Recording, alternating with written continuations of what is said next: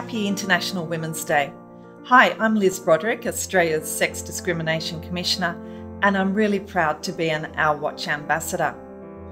As we celebrate the wonderful achievements of not just Australian women, but women globally for International Women's Day, I think it's also important to reflect on some of the challenges that lie ahead. And one of the gravest human rights abuses that's happening in Australia today is the levels of violence against women and their children.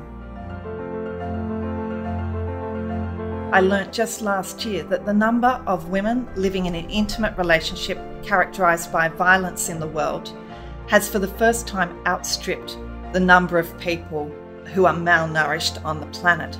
That's 980 million women, almost a billion women.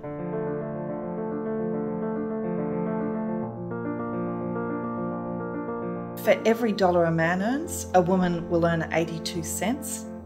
We know that if we look at the top 200 companies, only 19% of board directorships are held by women.